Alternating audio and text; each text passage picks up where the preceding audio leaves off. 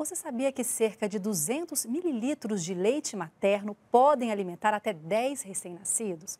E que o total de leite doado representa pouco mais da metade do necessário? Para incentivar esse gesto que pode salvar vidas, o governo lançou a campanha nacional de doação de leite 2022.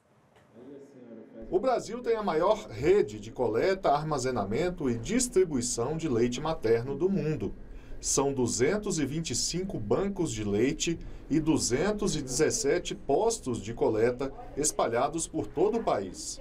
Apenas no ano passado, foram doados 245 mil litros do produto, beneficiando 237 mil bebês.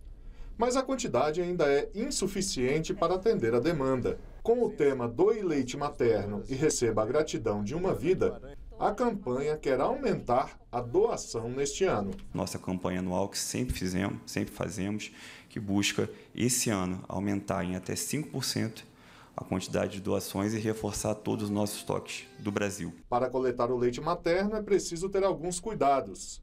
Primeiro, é preciso higienizar e preparar o frasco. Depois, a mamãe deve colocar uma touca ou um lenço para cobrir os cabelos. Em seguida, deve colocar uma máscara sobre o nariz e a boca. É preciso ainda lavar as mãos e os braços até o cotovelo com água e sabão.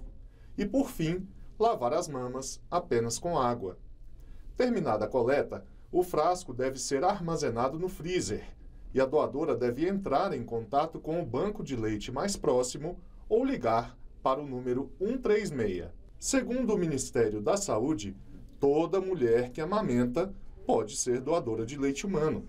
Basta ser saudável e não tomar nenhum medicamento que possa interferir na qualidade do leite. Doar é simples, doar é seguro, doar é amor, doar é vida, doar é esperança.